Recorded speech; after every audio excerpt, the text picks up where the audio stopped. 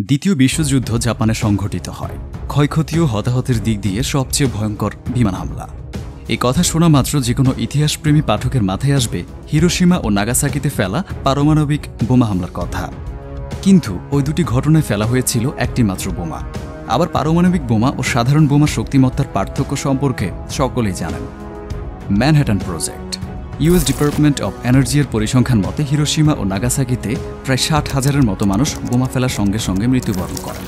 পরবর্তী কয়েক মাসে তেজস্ক্রিয়া ও জখম নিয়ে হতাহতের মোট সংখ্যা আনুমানিক প্রায় এক দশমিক উনত্রিশ লাখ থেকে দুই দশমিক ছাব্বিশ লাখ, যা মূলত হামলার পরের হিসাব। আজকের লেখায় আপনাদের যে ঘটনা সম্পর্কে জানানো হবে, সেখানে এক রাতে নিহত হয়েছিল প্রায় এক লাখের মতো জাপানি। পুরো ছারখার হয়ে যায় রাজধানী টোকিওর একচল্লিশ বর্গ কিলোমিটার এলাকা। ধ্বংস হয় দুই দশমিক সাতষট্টি লাখ ভবন, ঘরবাড়ি হারায় এক মিলিয়নের বেশি মানুষ। চলুন জেনে নেওয়া যাক ইতিহাসের ভয়াবহতম এই বিমান হামলা সম্পর্কে। জাপান যুক্তরাষ্ট্রের সাথে যুদ্ধে জড়িয়েছিল মূলত তাদের শক্তিশালী নৌবাহিনীর উপর ভরসা করে। কিন্তু একের পর এক যুদ্ধ হারতে হারতে জাপানের দখলে থাকা প্রশান্ত মহাসাগরীয় দ্বীপগুলো মিত্র বাহিনীর হাতে আসতে থাকে। জাপানি হাইকমান্ড তাদের মেইনল্যান্ডে হামলা কোনোভাবেই বরদাস্ত করতে পারেনি। তাই যুক্তরাষ্ট্র উনিশশো চুয়াল্লিশ সালের জুন মাস থেকে এসব পুনঃদখলকৃত দ্বীপ এবং চীনের মুক্তাঞ্চল ব্যবহার করে জাপানের গুরুত্বপূর্ণ শহর ও সামরিক কারখানাগুলোতে হামলা চালানো শুরু করে। কিন্তু বোমারু বিমানের রেঞ্জ খুব বেশি নয়। ক্রমবর্ধমান উন্নয়নের অংশ হিসেবে Boeing B twenty nine, super fortress নামক লং রেঞ্জ বোমারু বিমান সার্ভিসে আসার পর জাপানে নিয়মিত হামলা চালাতে শুরু করে ইউএস আর্মি এয়ারফোর্স আগে মার্কিন বিমান বাহিনী সেনাবাহিনীর অংশ ছিল। কিন্তু জার্মানি, ইতালিতে এ ধরনের প্রিসিশন বোমিং কৌশল অবলম্বন করে তেমন সাফল্য পাওয়া যায়নি। বিমানগুলোকে দিনের আলোতে খুব নিচে এসে বোমা ফেলতে হতো, যা অ্যান্টি এয়ারক্রাফট কামানের গোলা ও শত্রুর ইন্টারসেপ্টর বিমানের গুলির মুখে বেশ কষ্টসাধ্য ছিল। আর কোনো কারণে আবহাওয়া খারাপ থাকলে তো কথাই নেই। তীব্র বাতাসের কারণে বোমা লক্ষ্য ভ্রষ্ট হতো। ফলে টার্গেট এলাকার শুধুমাত্র সামরিক স্থাপনায় হামলা করার বদলে পুরো এলাকা জুড়ে হামলার কার্পেট বোমিং কৌশল বেছে নেয় যুক্তরাষ্ট্র। এতে বেসামরিক প্রাণহানির সম্ভাবনা বেশি থাকার পরও নিখুঁতভাবে লক্ষ্যভেদে পারদর্শী প্রিসিশন বোমার বদলে ইনসেন্টিয়ার তথা অগ্নিবোমার ব্যবহার শুরু হয়। ফলে একে ফায়ার বোম্বিং রেড নামেও আখ্যায়িত করা হয়। শত্রু থেকে কম বাধা পেতে রাতের বেলা হামলা করা হয়। এতে বিমানের বোম্বার্ডিয়ার ক্রুগন কম উচ্চতায় এসে বোমা ফেলার সুযোগ পান বটে, কিন্তু শত্রুর ব্ল্যাকআউট বা বিমান হামলা থেকে বাঁচতে পুরো শহরের বাতি নিভিয়ে রাখার কৌশলের কারণে বেছে বেছে শুধুমাত্র সামরিক টার্গেটে হামলা করা সম্ভব ছিল না। শত্রুর ব্যাপক বেসামরিক প্রাণহানির কারণে ফায়ার বোম্বিং কৌশল মিত্রদেশগুলোর ভেতরে বাইরে সমালোচিত হলেও জাপানের আত্মসমর্পণের জন্য যুক্তরাষ্ট্রের এটাই ছিল একমাত্র কৌশল। এরই ধারাবাহিকতায় পরিচালিত হয় অপারেশন মিটিং হাউস, যার মূল টার্গেট ছিল টোকিওর বেসামরিক নাগরিকরা। প্রস্তুতি। হামবুর্গ, ড্রেসডেন শহর সহ পুরো জার্মানিতে হামলার ক্ষেত্রে মার্কিন ও ব্রিটিশ রয়্যাল এয়ারফোর্স যথাক্রমে চোদ্দ পার্সেন্ট ও একুশ পার্সেন্ট হাই এক্সপ্লোসিভ বোমা ব্যবহার করত। এগারো নভেম্বর উনিশশো চুয়াল্লিশ সালের একটি অপারেশনে ডাবল এক্স আই বোম্বার কমান্ডের মেজর জেনারেল হেনরি আর্নল্ড এই কৌশল প্রয়োগে ব্যর্থ হন। তিনি তার প্রাইমারি টার্গেটে প্রিসিশন বোমা এবং আশেপাশের বেসামরিক এলাকায় হাই এক্সপ্লোসিভ ইনসিডিয়ারি বোমা ফেলার নির্দেশ দেন। কিন্তু ক্ষয়ক্ষতি আশানুরূপ না হওয়ায় তিনি পদচ্যুত হন। তার স্থলাভিষিক্ত মেজর জেনারেল কার্টিস লিমে এবার গদি বাঁচানোর জন্য সাধারণ যুদ্ধনীতির ধারে কাছেও গেলেন না। সামরিক বেসামরিক সব টার্গেটের উপর গণহারে ফায়ার বোমিং রেড শুরু করেন। এ ধরনের আক্রমণের বিরুদ্ধে জাপানের প্রায় সব ধরনের শিল্প এলাকা ছিল খুবই নাজুক। দ্বীপরাষ্ট্রটির প্রচুর গাছপালা থাকায় হামলার পর আগুন ছড়াতে বেশি সময় লাগত না। আবার নিয়ন্ত্রণে আটতে বেশ হিমশিম খেতে হতো। যুক্তরাষ্ট্র আগে পরিসংখ্যান বিদ্যুৎ দিয়ে হিসাব করিয়ে দেখেছিল যে জাপানের ছয়টি বড় বড় শহরের মাত্র চল্লিশ পার্সেন্ট ফ্যাক্টরিতে হামলা হলে প্রতি মাসে প্রায় সাত দশমিক ছয় মিলিয়ন শ্রমিকের সমতুল্য শ্রম নষ্ট হবে। পাঁচ লাখ আহত নিহত হবে। সাত দশমিক সাত পাঁচ মিলিয়ন লোক গৃহহীন এবং তিন দশমিক পাঁচ মিলিয়ন লোককে অন্যত্র স্থানান্তর করতে হবে। কিন্তু জেনারেল কার্টিসের এ ধরনের সিদ্ধান্তের কারণে ক্ষয়ক্ষতির মাত্রা আরও বৃদ্ধি পায়। উল্লেখ্য, জাপানের যুদ্ধের শুরুর দিকে চীন এভাবে ফায়ার বোম্বিং রেড পরিচালনা করেছিল বি টোয়েন্টি নাইন বিমানকে সুপার পোর্ট্রেস বা দুর্গ বলা হতো। এর চারিদিকে প্রতিরক্ষার জন্য মোট দশটি মেশিনগান বসানো ছিল। এটি তার ফ্লাইট উচ্চতা অনুযায়ী দুই দশমিক তিন টন থেকে দশ টন বোমা নিয়ে প্রায় পাঁচ হাজার কিলোমিটার পাড়ি দিতে সক্ষম ছিল। ডাবল এক্সআই বোম্বার কমান্ড এর ঘাঁটি মারিয়ানা আইল্যান্ডে উনিশশো পঁয়তাল্লিশ সালের মার্চ থেকেই এম সিক্সটি নাইন ইনসেডিয়ারি বোমার বিরাট মজুদ গড়ে তোলা হয়। এম সিক্সটি নাইন বোমাতে ন্যাপলম নামক এক প্রকার রাসায়নিক ব্যবহার করা হতো, যা অত্যন্ত দাহ্য পদার্থ। আগুন লাগলে সহজে নেভানো যেত না। শরীরে কোনোভাবে আগুন লেগে গেলে হাট পর্যন্ত পুড়িয়ে ফেলত। ভিয়েতনাম যুদ্ধেও এই ধরনের বোমা ব্যবহার করে যুক্তরাষ্ট্র। পঁচিশ ফেব্রুয়ারি উনিশশো পঁয়তাল্লিশ সালে জেনারেল কার্টিস্ট তার কৌশল সঠিক কিনা পরীক্ষা করতে একটি টেস্ট ট্রায়াল দেন। এজন্য একশো বাহাত্তরটি বি উনত্রিশ বোমারু বিমান দিয়ে টোকিওতে দিনের আলোতে হামলা চালান, যেখানে প্রায় আটাশ হাজার ভবন ধ্বংস বা ক্ষতিগ্রস্ত হয়। এই সাফল্য আরও বড় আকারে হামলা চালানোর ক্ষেত্র সৃষ্টি করে। অপারেশন মিটিং হাউসের জন্য মোট তিনশো পঁচিশটি বোমারু বিমান প্রস্তুত করা হয়। অভিজ্ঞতায় দেখা যাচ্ছে দিনের চেয়ে রাতে হামলা করলে কম উচ্চতায় এসে বোমা ফেলা সম্ভব। আবার কম উচ্চতায় বিমান উড়িয়ে আনলে বেশি পেলোড নেওয়া সম্ভব। দেখা গেল প্রতিটি বি উনত্রিশ বিমানে লো অ্যালটিটিউডে যে পরিমাণ বোমা বহন করতে পারবে, তা হাই অ্যালটিটিউড পেলোডের প্রায় দ্বিগুণ। কিন্তু এটি করতে গেলে কম ফুয়েল নিতে হতো। জেনারেল কার্টিস এবার তার পাইলটদের ফরমেশনে না উড়ে আলাদা আলাদা উড়ার অনুমতি দিলেন। কেননা ফরমেশনে থাকতে বারবার গতির সমন্বয় করতে বেশি ফুয়েল খরচ হয়। মার্কিনীদের কাছে গোয়েন্দা রিপোর্ট ছিল যে জাপানিদের মাত্র দুটি নাইট ফাইটার ইউনিট বা রাতের যুদ্ধে পারদর্শী তখন সক্রিয় ছিল, যাদের মোট বিমান সংখ্যা মাত্র ছাব্বিশটি। তাদের তরফ থেকে তেমন বাধা আসবে না জেনে বি উনত্রিশ বিমানের মেশিনগান ও কম প্রয়োজনীয় যন্ত্রাংশগুলো সরিয়ে নেয়ার নির্দেশ দেন যেন বেশি বোমা বা ফুয়েল নেওয়া যায়। তিনটি বোম্বার উইংয়ের দুটি ছয় দশমিক চার টন এবং একটি উইং চার দশমিক পাঁচ টন বোমা নিয়ে এই মিশনে অংশগ্রহণ করে। এই অপারেশনের বিভিন্ন আর্কাইভ ফুটেজ দেখুন এখানে। এর মধ্যে জাপানিরা রেডিও মেসেজ ইন্টারসেপ্ট করে ধারণা করে যে মার্কিনেরা বড় ধরনের নাইট্রেডের পরিকল্পনা করছে।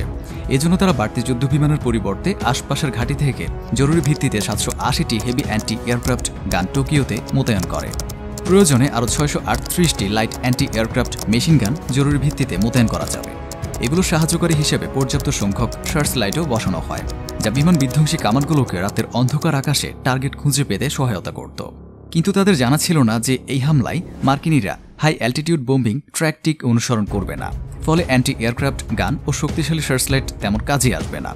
মরার উপর খাড়ারগা হিসাবে টোকিও ফায়ার সার্ভিসেও পর্যাপ্ত জনবল ও যন্ত্রপাতি ছিল না। দুশো সাতাশিটি স্টেশন মিলিয়ে মাত্র আট হাজার দমকল কর্মী ছিল। আক্রমণ শুরু হলো। আট মার্চ উনিশশো পঁয়তাল্লিশ সালের সকালে জেনারেল কার্টিস হঠাৎ করে অপারেশন মিটিং হাউসে গ্রিন সিগন্যাল দেন। ক্রুদের জানানো হয়, তারা আগামীকাল রাতে টোকিওর কিছু কারখানাতে ফায়ার বোম্বিং রেড শুরু করবে। এজন্য ছত্রিশ ঘণ্টা ধরে বিমানগুলোকে প্রস্তুত করা হয়। হামলার স্থানকে তিন ভাগে ভাগ করা হয়। এদের মধ্যে জোন একের কথা আলাদাভাবে বলতে হবে। এটি আসলে চার ইন্টু তিন মাইলব্যাপী আয়তকার অঞ্চল। এখানে প্রায় এক দশমিক এক মিলিয়ন লোকের বসবাস ছিল, যা তৎকালীন টোকিওর সবচেয়ে ঘনবসতিপূর্ণ অঞ্চল।